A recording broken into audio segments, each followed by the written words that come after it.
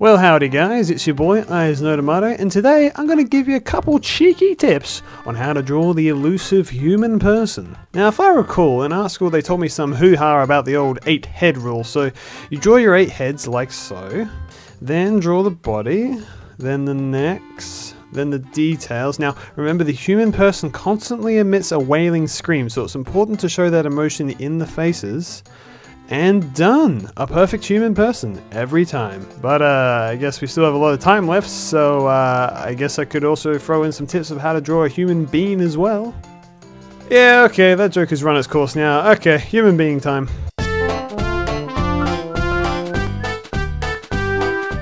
So, alright, first thing I like to do is draw the height of the person, alright? Width doesn't matter at this point because you can make him as wide as you want, really, but I'll get into that a bit later. The height is the key here. So all you gotta do is draw two horizontal lines, one over the other. And these will mark the very top and the very bottom of your person, but not the fun kind of bottom, unfortunately. Now you might be going, well how am I supposed to know where I put those lines? Well, considering we're drawing them in a white void right now, it literally doesn't matter. But just for demonstration's sake, I'll draw a couple more lines over here. Except this will be a little small person. Okay, so next we need to find the middle of the person, which because I've got these handy randy grids here, I can easily find. Now this will be important in a bit, alright? Just give me a minute, God! Okay, so now I'm going to draw placeholders for the head and the feet. And keyword here, placeholder, okay? My person isn't actually going to be an egghead, alright? I ain't drawing Northernlion here, unless you are? Hmm. Now I know I went a little fast there, and that's because I'm impatient and I have it all memorized. But it helps allow me to explain that, you see for a typical person they are about 8 heads tall, and this can really help in figuring out where all the details go. So we know that the halfway point is there, and after consulting a calculator for 3.5 minutes, we know that half of 8 is 4. So I'm going to divide both the top and the bottom into 4s. Marvellous, I've now made a bunch of lines. And hey, look, now I know exactly where to put this dumpy ass head. Now don't forget the feet. Typically they come up roughly a bit under halfway the bottom box, but uh, feet are kind of their own demon, and I'll cover them in a later episode. For now, just draw some sick ass triangles. Hell yeah. There's a little something for all you foot fetishes out there. Now it's important to draw both the head and the feet first because that way it would give us a good overall sense of how the person as a whole will be looking, and that's super helpful. It's easy to get bogged down all up in drawing the face or whatever, only to zoom out and realize it's got a giant hand or something. Now width, as I said earlier, overall width varies and can differ from person to person. Personally, I got a couple of big old juicy fives that ain't ever gonna fit in this here pic. But there is one thing we can figure out right now, and that is shoulder width, which actually helps us out a decent amount. Simply make these here lines into squares. But how do you do that? Bada bing, bam, a perfect square, just like me. Now the shoulders are going to be around the midway mark of these here squares. And here's a fun fact for you. Typically more femininely shaped people will have slightly more slanted shoulders than more masculinely shaped people. Of course, you can draw your person however you like, just something to keep in mind. Okay, so now we are getting uh, somewhere. If I squint my eyes super hard, it kinda looks like a fish. Well, it's missing a middle right now. Now, can anyone tell me where the middle of the human body is? Oh! Yes, Timmy? It's the belly button! Very good guess, Timmy. However, also extremely incorrect. You can go sit in the corner now in the dunce cap. The middle of the body is actually the crotch. Yes, that's right, the area of which all the exciting stuff generally happens. And for those of you paying attention, you might be thinking, uh, wait, does that mean the legs are as long as the upper torso? You would be correct and would have also achieved basic observation skills. Yes, indeed, your legs make up about half your body, so let's throw in some lines for fun.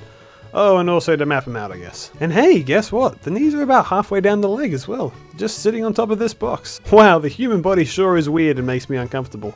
Alrighty, so now we gotta draw the arms, because apparently humans just can't get enough appendages, can they? Jesus Christ. Alrighty, so for arms we're once again just looking for the length right now. But how do you figure that out? Well, luckily most of us have a model on our person at all times. And by placing my arms down by my side, I can see that it comes down about roughly halfway down my thigh. Fantastic! And hey, once again, your elbow is halfway through. Man, this thing draws itself. Here's another quick little detail. If you want extra help, say if both your arms were spread out to the side, they will equal the same distance as your height with 8 squares, see? Crazy stuff, huh? Duh. Alright, now we've got to do the torso, now we are finally getting into some fun here. Now, typically the belly button will go about here, between the third and fourth head box. But here comes the interesting part. If you draw a line from here to the shoulder and make dots at the intersecting parts, we make some of God's greatest creations, the nipples. Now this is the point where things start to get pretty loose. You see, from this point onward, everything you draw is pretty dependent on how you want your person to look. Seriously, the human body is amazing in that it comes in all sorts of beautiful shapes and sizes, and it's seriously up to you on how you want to draw them. Now don't worry your excited little heads off just yet. I'm still going to give you tips and pointers, and I want you to know this is a very basic way of drawing a human.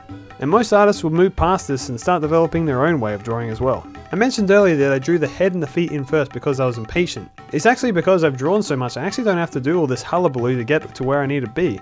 It's all just practice after all. As you develop as an artist, you will start shaving away steps from this process as well to help develop your own style and rhythm, while other steps you might keep until the day you die. It's no pressure or anything, this stuff just happens naturally as you draw more and more.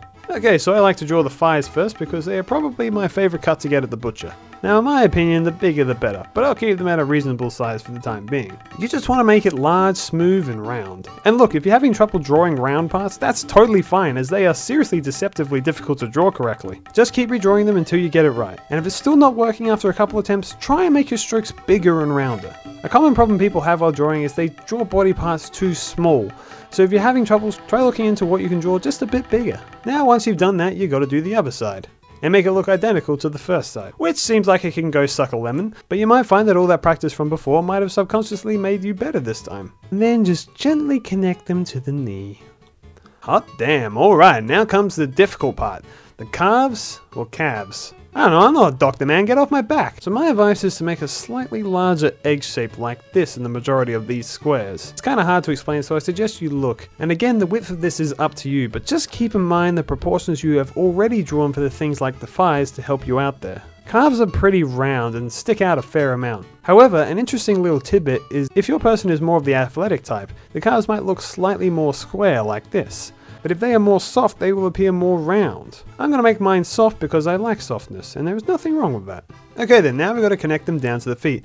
And this is kind of weird because contrary to what I said earlier, ankles are often smaller than you might think. Weird, I know. It's a real good way to confuse the flip out of people and make them give up altogether. I gave up on art because ankles can suck a piece of bark. Okay, now we got to do the inner legs. Essentially, you want to make a really downplayed and squashed down version of what you just did before. So here, the calves still stick out a bit, just not as much. And the thighs, while still round, are a lot more underplayed. Now you got this little triangle crotch, and this is where you get to decide if you want to include a thigh gap or a human fun receptor. Personally, again, I'm not going to bother with a thigh gap because I personally don't really care for them. Plus, also generally I draw my characters with clothes on, so it really matters less. Next, we gotta deal with the nipple situation, because quite frankly, it's getting out of control. And here is once again a defining difference between people, is that some people have this thing called boobies. Now, I don't know what causes this, and quite frankly, it scares me. Sometimes they can be large and sometimes they might not appear at all. Either way, it's all valid, so go to town. Or don't. Just bear in mind that through this process, the nipples might need to be adjusted and replaced. And hey, if you want to make some more definition for more masculinity and muscle, draw a couple horizontal and vertical lines, like so. Wow, so defined. Once again, I'm going to go with the booby route, because YouTube was probably going to demonetize this video anyway. It's a flipping educational video, gosh dang it, and I haven't even said a real swear! Now it's important to do this first, because if you make anything too large in the front, you don't want to overlap something you've already drawn in the back. Now we got the waist, and again, this is up to you. Just remember where the thighs end and the armpit begins, because that's your point A and your point B you'll want to get to. However, a good tip is generally the sides will dip in a bit around the belly button area, and they will tell you more feminine people will have it dip in the most, but seriously, people can look like anything. So again, this is all up to you. Just remember what proportions you have already made at this point to help give you an idea of what you're going for. Alright, arms time. And look, I'm going to tell you right now, arms suck. They suck hand puppets. Not because they are that difficult to draw, but they are just surprisingly uninteresting and difficult to explain. The best way I can think to put it is to think of them as a smaller, thinner version of the legs, like how this part of the arm sort of works like the calf in that it gets larger closer to the joint and the wrist gets smaller like the ankle. Only difference is, is to make these curves a lot more subtler. It may take a bit of practice. And for this part of the arm being overall round like the thigh but not too round, and then with this line you just want to connect it under the armpit where it will be connected. But aha! It's a trap! Now that looks dumb. What is this, The Last Jedi? no, no, no, no, no. You gotta think about the consistent width of the arm. It doesn't get smaller up here, it stays semi-parallel to the other side. I know it's hard to explain, but look, you're going to have a better looking arm if it's just two parallel lines as opposed to a triangle. Believe me. Whew, alright, now, what about the hands? Well, look, I'm not gonna lie, hands are in another ballpark of their own. Seriously, I know artists that just straight up try their best not to draw hands at all because they are such a nightmare. So I'll tackle them in a later episode, but I'll give you one crucial piece of advice right now. Hands are big.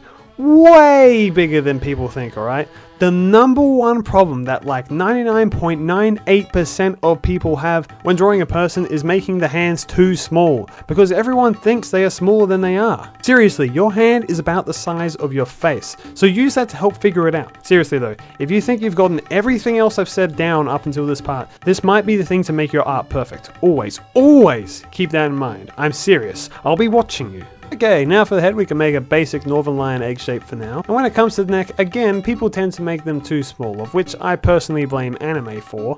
Reality is, is your neck is usually just a little bit less thicker than your head. And remember what I said earlier about the shoulders and angles and junk. Just keep them a straight line and just a nice little curve to connect it all together. Oh, and one last thing for a bit of flair. If you make some subtle imagination lines from your shoulders to say about here, you can make some little collarbones like this. Maybe even throw in a few more details like this and that and this, and done. One almost complete human being. Now, I think it goes without saying that obviously the face and details like that are for another episode. Yeah, I'm sorry. I know. Shit, shut up! But hey, if you enjoyed this, let me know, and maybe those burning answers will be addressed in the next episode of this. Or you'll just look it up on your own out of impatience. Both valid options, to be honest. But as for the next episode, we'll be taking another look at the human body, this time from different angles, and hey, maybe even some different poses as well, if you're good. Anyway, I've been Ihasnotomato Draws. These have been tips on how to draw a human person and other stuff, and I will see you guys next time. Bye.